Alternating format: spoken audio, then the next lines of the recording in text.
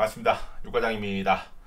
아, 오늘은 여러분들이 궁금해 하시던 SOXL 3배짜리 레버러지 그 육과장 투자하는 거 관련해서 오늘 간략하게 소개를 한번 해보도록 하겠습니다. 가시죠.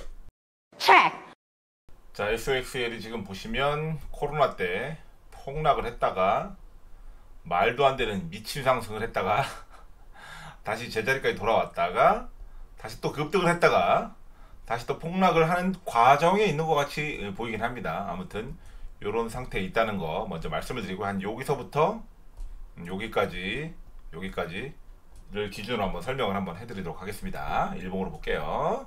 제가 22년 말 23년부터 이제 SOX를 많이 좀 본격적으로 매매를 하면서 왜냐면 폭락이 나왔다고 횡보하는 구간이기 때문에 먹을 게 많겠다 이렇게 올라갈 때 먹을 게 많다 그래서 이제 짤짤이 매매를 본격적으로 시작하면서 재작년 작년에도 수익을 좀 냈었죠 근데 이제 주가가 이렇게 오르는 과정에서 이제 제가 비중을 많이 줄였다고 말씀을 드렸어요. 왜 250만 원 갖고만 매매를 한다. 뭐 좀 많이 이렇게 이런 식으로 폭락이 여기 나왔던 중간에는 한 500에서 한 800까지도 갔었어요 비중이. 근데 250만 원에서 올라가면 쭉 팔았다가 내려오면 또 250만 원까지만 채우고 또 올라가면 쭉 비웠다가 또 비우고 이런 식으로 이제 이걸 계속 반복을 했거든요. 근데 그런 말씀들을 많이 하세요. 왜 250만 원 갖고 하냐? 왜? 아니 2,500으로 했으면 작년 기준으로 한 1,500 정도 수익 냈으면 2,500으로 했으면 1억 5천 벌었을 거 아니냐 이거예요. 그죠? 그죠? 맞잖아요. 단순 계산으로. 근데 왜 이렇게 안 하는지 여러분들한테 오늘 설명을 해드리려고요. 왜냐면 제 지인 분 중에 한 분입니다. 어, 그렇게 친하진 않은 분인데 설명을 해드릴게요. 저랑 이제 뭐 저는 예전에 많이 겪었고 그분도 이제 SOXL이 이제 좀 유행을 하던 시절에 이제 또 막 주식을 사서 하시다가 처음에는 한 500만 원 정도 갖고 시작을 하셨어요. 500만 원 갖고. 근데 어떻게 돼? 주가가 쫙 오르죠. 그죠? 더 사고. 오르면 더 사고. 오르면 더 사고. 또 쫙 올랐다가 팔고 나서 여기서 팔고 나서 여기서 또 더 사가 또 쫙 오르고. 야, 무슨 신들린 것처럼 맞더라 이거. 이런 데서. 이런 구간에서 막. 이런 데서 또 막 이런 데서 과감하게 더 담아서 쫙 올라갔어요. 그래서 본인 돈이 대략 한 2천만 원 조금 안 되게 들어간 것 같아요. 본인 돈이 원금이죠. 원금이 2천만 원 조금 안 되게 들어갔고 수익금이 그러니까 2천만 원 안 되게 투자를 해서 수익금만 1억이 넘었었어요. 1억이. 1억을 넘어갔었어요. 한 요시쯤에서. 그죠? 자, 그러면 그분이 지금 어떻게 돼 있냐? 안정적으로 수익을 잘 챙기고 마무리했냐? 자, 원금이 제가 한 2천만 원 조금 안 되게 들어갔다고 말씀을 드렸잖아요. 원금이 1천만 원 정도 남으셨어요. 음, 오히려 손해를 보고 나왔습니다. 벌었던 1억은 온데간데 없고 오히려 손실로 마무리를 하셨어요. 그래서 지금 이제 끙끙 앓고 있죠. 여기 고에서 해야 되나 말아야 되나 막 던질까 말까 던질까 말까 이러고 있다고요. 왜냐면 여러분들이 그 주식시장이 막 올라갔다 내려갔다 올라갔다 내려갔다 막 이런 것들 있잖아요. 막 이런 것들을 많이 안 겪어 보셨잖아요. 그죠? 그러니까 예를 들어서 뭐 이런 어떤 리세션이라든가 아니면 뭐 IMF라든가 코로나든가 이런 것들을 많이 안 겪어 보셨잖아요. 그래서 이 구간의 무서움을 몰라요, 여러분들이. 근데 이 구간 지수가 예를 들어서 한 25% 이상, 35% 이상 빠지는 막 50%씩 빠지는 이 구간을 겪어보지 않으시면 여러분들 아무리 말을 해도 못 알아먹더라고요. 그래서 수익을 많이 내는 게 중요하지 않아요. 왜냐면 내가 지금 3배짜리를 매매해갖고 본 계좌를 막 어떻게든 해갖고 내가 일어나야 돼 다시 막 이런 게 아니잖아요. 그죠? 본 계좌는 있고 나머지는 짤짤이 계좌로 지금 운용을 하는 거잖아요. 근데 여기다가 비중을 실으신 분들은 나중에 어떻게 되냐면 이 짤짤이 계좌 때문에 이 본 계좌가 무너져 버려요. 왜? 톤을 여기서 계속 빼가니까. 왜? 여러분들은 아직까지 계좌 관리가 안 돼요. 이런 경우 많으시죠? 그죠? 조금 이제 당하신 분들, 주식을 조금 하신 분들은 나중에 가보면 이렇게 계좌를 나눠요. 어, 이건 장기 계좌, 이건 무슨 계좌, 이건 짤짤이 계좌 이렇게 나눠요. 그죠? 근데 나중에 여기서 빵꾸 뽕 나잖아요. 그러면 이 돈들이 다 일로 빠져 들어와요. 맞습니까? 그래서 결국에는 나중에 계좌가 다 무너지는 결과를 갖고 와요. 그죠? 아니면 종목이 너무 막 많으니까 나중에 감당 안 되니까 막 다 무너지잖아요. 빠질 때는. 포트폴리오를 구분해 놨다고 했는데, 어? 헬스케어하고 뭐 자동차하고 이런 식으로 포트폴리오 짜놨대. 이게 무슨 자산 배분이에요. 주식이 빠질 때 다 같이 빠지는데 여러분들한테 말하는 자산 배분이라는 건 뭐냐면 아예 성격이 달라야 돼요. 예를 들면 채권, 뭐 주식, 뭐 비트코인, 뭐 금, 뭐 이런 식으로 아예 성격이 달라야 돼요. 그죠? 비트코인도 개뿔이나 무슨 뭐 안전자산이라고 하지만 금값 겁나 오르고 있는데 비트코인 개꼬라 받고 있죠. 아무튼 아무튼 이렇게 성격을 좀 분리하는 게 중요한데 이런 것도 기본적으로 또 안 하고 계시고 아무튼 그래서 여러분들 이렇게 계좌 관리도 비중 관리도 안 되면 어떻게 된다? 결국 한 방에 죽는다. 그러면 저라고 이런 과정을 안 겪었을까요? 무조건 겪었죠. 무조건 겪었죠. 그래서 저는 이제 원칙을 딱 정한 거예요. 본질을 딱 내비두고 나머지 아주 작은 돈 가지고 여기서 놀기로 한 거예요. 대신에 대신에 이렇게 폭락이 나왔을 때 있죠. 지금처럼 폭락이 나왔을 때 이럴 때 이제 남들보다 겁을 좀 덜 내는 거예요. 조금 늘리는 거예요. 이럴 때. 왜? 훈련이 돼 있으니까 이제는. 그죠? 그래도 어느 정도 일정 금액 이상으로 또 넘어가지 않아요. 왜? 여기서 내가 예를 들어서 여기서부터 투자를 시작했어요. 그러면 어떤 마음으로 사냐면 여기서 마이너스 50%더 떨어질 수 있다. 이렇게 생각하고 사는 거예요. 왜? 3배짜리는. 2배짜리는. 2배짜리. 여기서 마이너스 30%더 갈 수 있다. 내가 사는 자리에서. 그러면 그런 마음을 먹으면 손이 나가는 금액이 달라요. 그러면 또 어떤 분은 그럴 거예요. 아, 그렇게 하고 돈 언제 벌어요? 여러분들은 지금까지 주식 투자 길게 하신 분들 막 10년, 20년씩 하고 계시잖아요. 돈이 왜안 불어나는 줄 아세요? 한 방에 몰려다가 안 불어나는 거잖아요. 한 방에 몰려다가. 결국엔 돈을 못 번다고요. 그냥 어떻게 하냐면 그냥 여기서 100만 원, 100만 원, 100만 원, 100만 원, 100만 원, 100만 원, 100만 원, 100만 원, 100만 원, 100만 원, 100만 원 이렇게 버는 거예요, 그냥. 100만 원, 100만 원, 50만 원, 30만 원, 20만 원 이러다 이럴 때가 한 500만 원 벌고 또 뭐 한 200, 300, 400, 500 벌다가 또 여기서 여기서 한 1000만 원 벌고.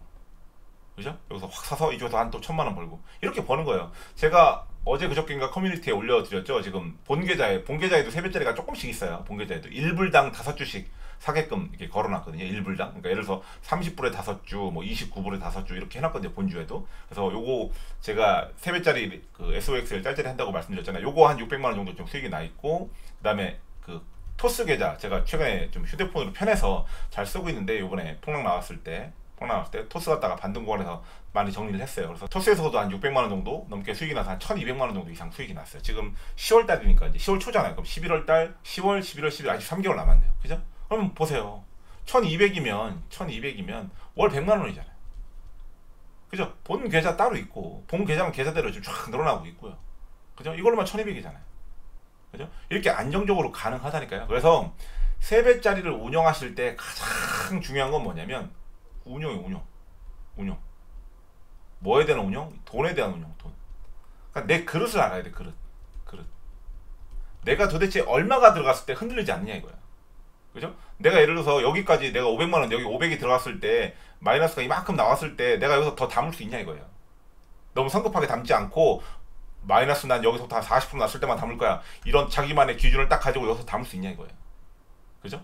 아니면 이런 차트를 갖고 분석을 해서 아 나는 이 112일선이 꺼질 때만 내가 여기서 위에서 매수하는 건 자유롭게 하되 112일선이 꺼졌을 때만 돈을 추가로 투입할 거야.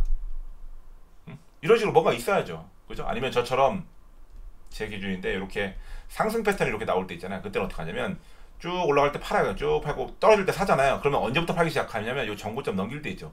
요 정기점을 정고점을 넘기는 구간에서 파는 거예요. 그리고 어떻게 돼? 요 정고점을 넘겼던 밑에 구간 떨어지죠. 그럼 여기서 또 사는 거예요. 그죠? 그럼 요 정고점을 또 넘기는 구간 있죠. 요런 데. 요런 데서 또 파는 거예요. 파는 거예요. 그죠?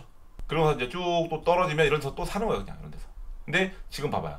많이 떨어질 걸 모르고 좀 성급하게 샀죠. 그럼 어떻게 해야 돼? 여기서 기다리는 거예요. 저 같은 경우에는 이제 마이너스 한 20% 여기서 250만 원을 다 채웠어요 예를 들어서. 근데 그래도 계속 떨어지고 있잖아요. 그럼 어떻게 돼 마이너스 20% 단위로 사는 거예요. 저번에도 커뮤니티에 글을 올려드렸죠. 그죠 마이너스 20% 단위 사는 거예요. 제가 여기서도 커뮤니티에서 올려드렸잖아요. 여기까지 해서 쫙 채웠는데 계속 더 떨어지더라 이거예요. 그럼 어떻게 돼 마이너스 20% 단위 사는 거예요. 그리고 나서 이제 반등이 이렇게 나오면 내가 매입한 평단가를 넘기는 구간에서 비중을 좀 덜어내요. 그렇게 덜어내고 나니까 귀신같이 또 떨어지잖아요. 그죠? 그럼 어떻게 돼? 내가 팔았던 평단가 밑으로 떨어지는 구간에서 또 더 담아요 그죠? 그리고 또 귀신같이 반응 나오죠. 그럼 제가 39불에서 40불, 40.5불 사이에서 다 털었어요. 거의 대부분. 그러니까 또 귀신까지 떨어지잖아요. 그럼 또 다시 태우고 있다고. 금액 그렇게 많지 않은 금액을 가지고도. 그죠? 그죠? 그리고 밑에서 많이 담아야 돼요. 이런 위에서는 250만 원 갖고 놀지만 이런 데 떨어졌을 때는 막 1,500만 원, 2,000만 원까지 담는단 말이에요. 그죠? 밑에서 많이 잡아요. 쌀 때. 그럼 어떻게 돼? 조금만 반등 나와도 바로 수익권이잖아요. 그러면 부담스럽지 않은 금액만큼 덜어내는 거예요. 하지만 가격이 이쪽보다 많이 싸져 있잖아요. 그죠? 그럼 어떻게 돼? 여기서 250 들고 있을 거 여기서는 500만 원, 800만 원까지는 들고 있는 거예요. 왜? 아직 싸니까.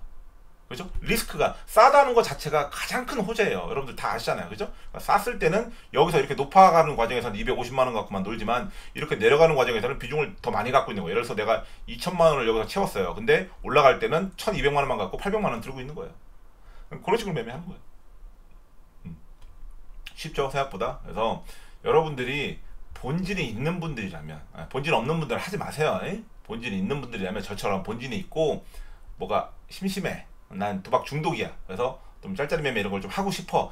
그런 분들은 이렇게 세배짜리 하셔도 돼요. 제가 가끔 신용하지 마라, 이런 매매 하지 마라, 뭐 세배짜리 하지 마라 이렇게 얘기하는 경우가 뭐냐면 본질이 없는 분들 말씀드리는 거예요. 본질이 없는 분들.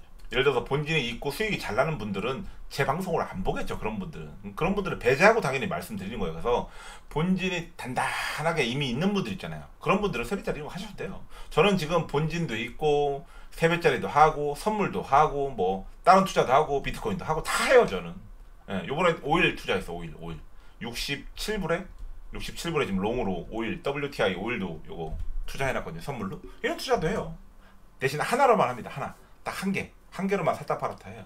근데 그것도 지금 연초부터 따지니까 그것도 한 600만 원 정도 수익이 나 있더라고요. 그래서 여러분들이 조금 이렇게 운용하는 거기에 대한 지식이 없어도 금액을 잘 배분만 하면 왜냐면 이게 시장에서 없어지고 사라지는 게 아니잖아요. 그죠? 제가 지수 갖고 플레이하는 이유가 뭐다? 없어지지 않기 때문이에요. 개별 종목가 사라질 수 있잖아요. 정말 어떤 이슈에 대해서. 그죠? 근데 지수는 없어지지 않아요. 왜? 그 구성 종목에서 넣고 빼고만 생기는 거지 이 지수에 대한 총합은 계속 끌고 간단 말이에요.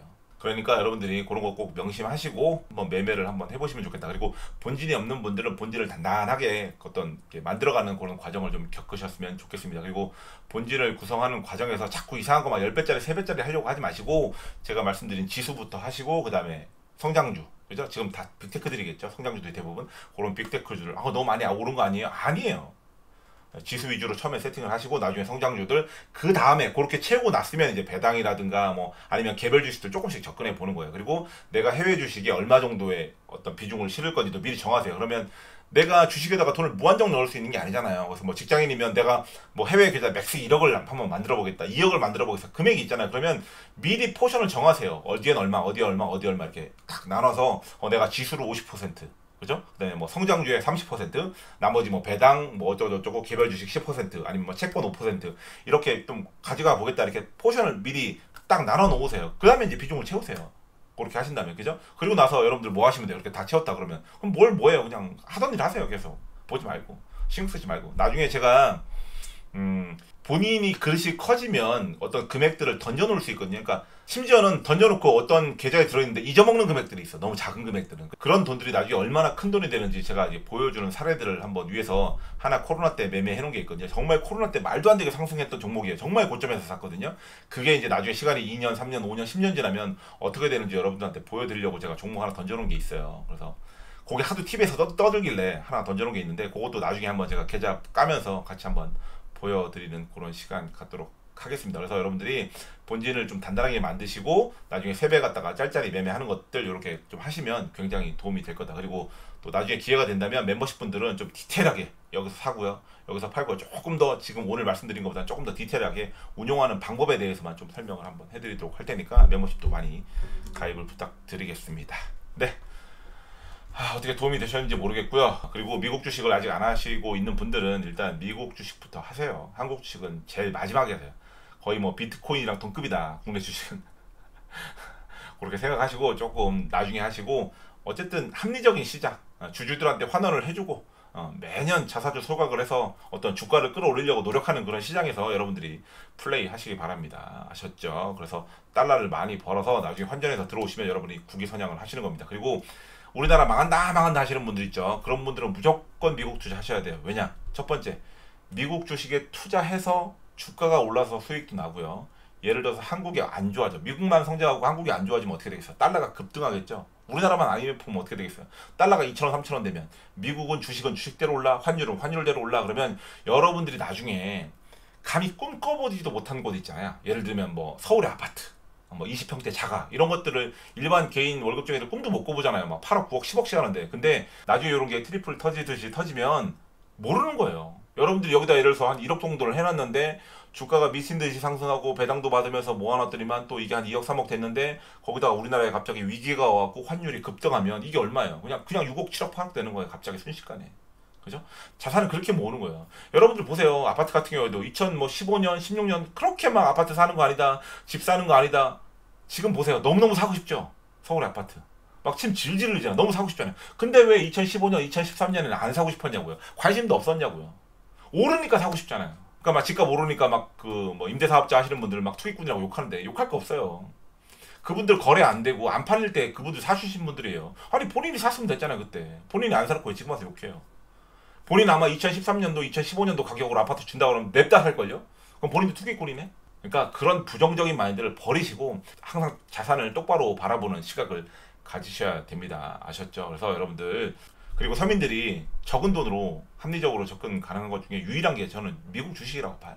아셨죠? 그래서 괜히 한국 주식에 장기 투자하지 마시고 합리적인 미국 시장에 장기 투자하시면 좋겠습니다. 그리고 여러분들 불안해하지 않게끔 개별 종목이나 이런 것들 너무 불안하니까 항상 지수를 항상 지수에 대해서 빵빵하게 채워놓고 나머지 성장주들 이렇게 아니면 또 육과장이 얘기했던 뭐 인프라라든가 친환경 이런 것들도 ETF로 한번 모아보시면 제가 장담하는데 여러분들 나중에 한 5년만 기다려보세요. 여러분들 나중에 아마 어, 직장이나 이런 것들 좀 생활이 불안할 때 아마 든든해져 있을 거라고 저는 무조건 믿어 의심치 않습니다.